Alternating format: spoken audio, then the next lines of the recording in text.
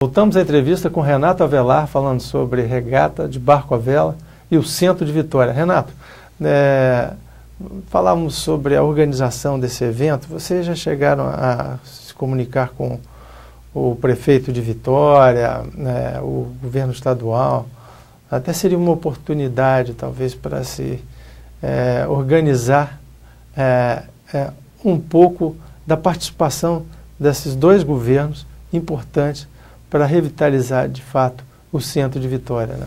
Olha, a gente teve um, uma receptividade, um apoio muito grande do movimento e, e dessa ideia do vereador Serjão, né, que nos apoiou, inclusive ele vem participar da regata em um dos barcos, ele está apoiando muito essa questão do centro. E hoje nós vamos ter uma reunião, hoje às 19 horas, com o vereador Sérgio e o vereador Vinícius Simões, que foi eleito pelo centro. Ele é um morador da região que pretende desenvolver. Vamos levar a ideia para eles. A prefeitura não fomos ainda. Eu acredito que a Arte Clube do Espírito Santo, que promove a regata, vai procurar. Já tive um contato com Maria Emília Souza, que é diretora social, que vai prestar todo o apoio para a gente. Já, já nos, nos, sinalizou, o diretor de vela, Francisco Kunig, também já, nos, já vai nos apoiar.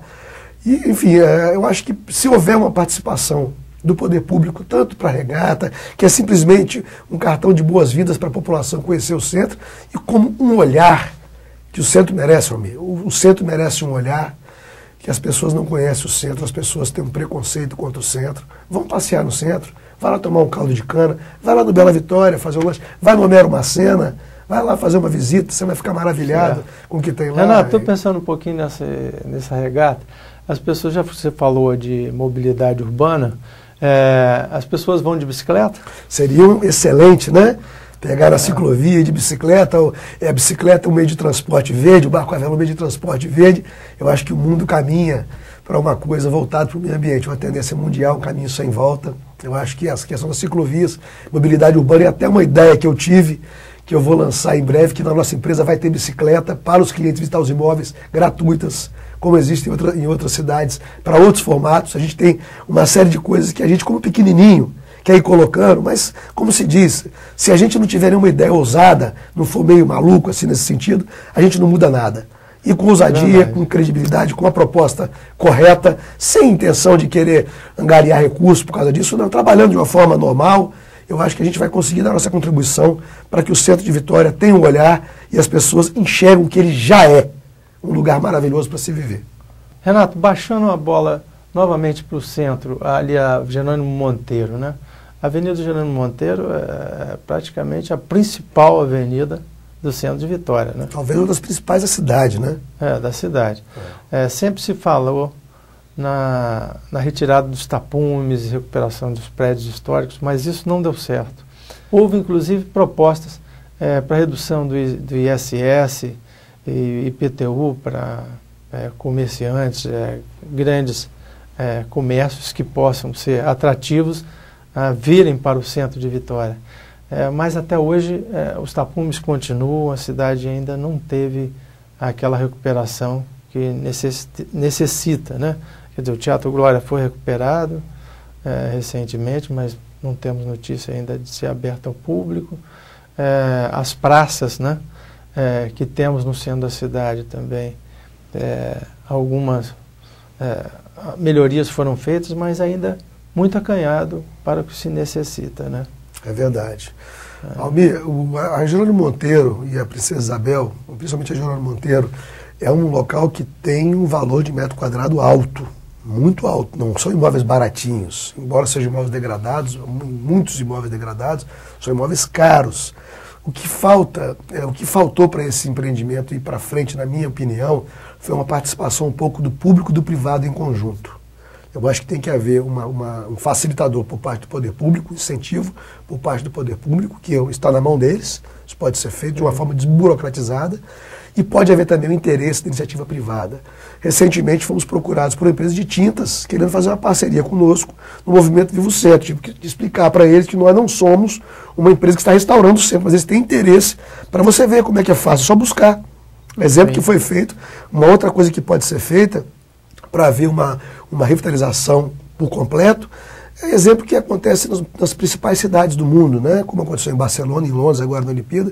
Enfim, empresas de publicidade, como a, uma empresa francesa JCDecaux, que ela pega as áreas degradadas e públicas, ela investe e explora comercialmente aquelas áreas, como painéis, como outdoors, etc.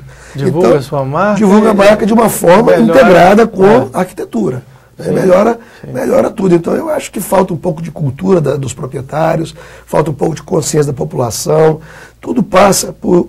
São três fatores, né? A boa vontade, né? o poder público e o dinheiro privado.